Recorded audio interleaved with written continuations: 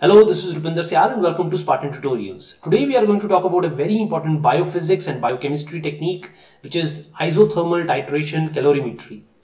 It is a workhorse of protein studies, protein ligand interaction studies, as well as drug binding studies, whether we are talking about drug ligand interaction or drug protein interaction. So any kind of compound compound interaction studies can be monitored using this technique. It is extremely sensitive technique and highly quantitative and a wealth of data is generated using this technique. So let's talk about what is it all about.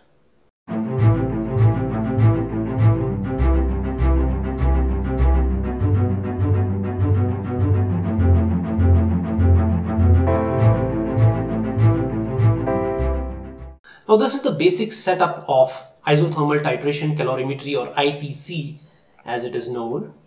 So we have two cells. We have one cell which is known as reference cell. It usually contains only the buffer. And then we have the sample cell which has our protein and later on we add the ligand. The ligand is usually injected by this automatic syringe. Okay. We also have the stirrer in this to ensure proper mixing of ligand when we add it. These are covered by an adiabatic jacket. So it does not allow any heat exchange from the outside to the inside or vice versa. There is the adiabatic jacket. So highly controlled atmosphere so the name isothermal titration calorimetry refers to this main keyword which is isothermal. The sample cell and reference cells are kept at same temperature. If there is any temperature difference or heat difference between sample cell and reference cell, which is usually caused by protein ligand interaction or ligand ligand interaction, that is detected by this ITC instrument. So here we have the heaters which maintain the same temperature in the sample cell and the reference cell we have appropriate sensors. Okay.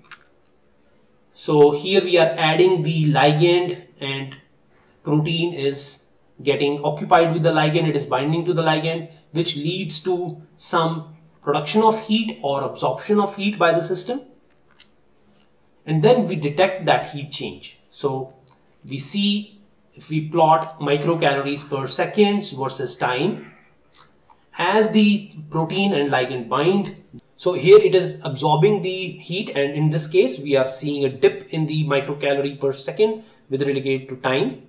Then we add more and more ligand usually a series of dilutions of various ligand concentrations are done.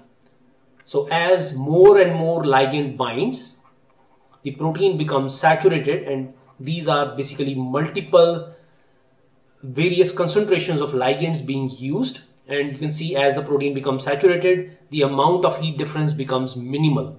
And this is later on integrated.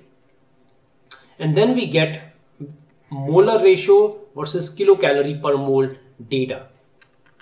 This can be used to get three values. One is kd which is the affinity of the protein for that ligand usually in the nanomolar or micromolar ranges, usually in the nanomolar ranges. We also get the molar ratio and the stoichiometry. So for example, how many ions or how many ligands are binding to the protein. And we are also getting the delta H, which is the enthalpy change of the reaction. And this is extremely sensitive technique. So very, very small changes are measured by this technique. This is an example of one of the instruments. So this is uh, Malvern Panalytical Instruments uh, ITC instrument which is called Microcal ITC 200. This is you can see the sample injection here and all other controls for buffers and sample cell and reference cell here. And here I want to just point out two studies where they use ITC to describe and measure uh, protein ligand interactions. So in this first study, we have the ITC profile of the beta prism domain of the Vibrio cholerae cytolysin protein or VCC. It is a beta barrel pore forming protein and one of the activities of this protein it is that is that it is acting as a lectin so it is a carbohydrate binding protein and one of the residues which was important for binding the lectin is the aspartate 617. So in this study, what the researchers did was they measured the ITC profiles of the wild type beta prism domain and the mutated beta prism domain. And you can see that the interaction basically vanishes when they use the mutant version. And here they can get nice molar ratio as well as KD and the delta H from this data for beta prism domain. Okay, so this is one example. In another example, they, they looked at calcium bound annexin protein from cotton and here also they are looking at the ITC profile without the substrate and vesicles which they bind and in the presence. So they are getting this again nice profile when they add different amounts of concentrations of ligands and they can integrate the data and get an idea about the stoichiometry. They also got the molar ratio where they found out that actually it is 5 calcium ions which are binding to this protein. Okay, so far so good. So ITC is pretty good at estimating the dissociation constant.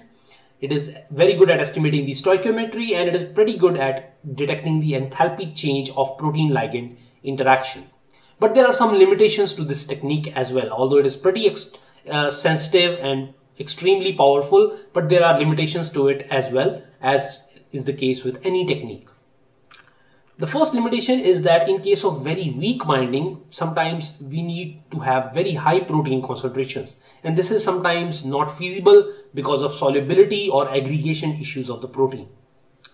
And another is if there is very strong binding, then we need very low protein concentration to detect it using ITC. And this usually produces very weak signals which are below the detection range of most of the ITC instruments. But apart from that, for most normal proteins and normal circumstances, it is a pretty useful technique. There is a huge wealth of data that can be obtained using ITC and I would encourage you to read more about it and see if you can apply it to your research. I hope you found this information useful. Let me know if you have any doubts or questions about this technique in the comment section below. Please do subscribe to the channel and give the video a thumbs up if you liked it. Till the next time we meet, take care and bye-bye.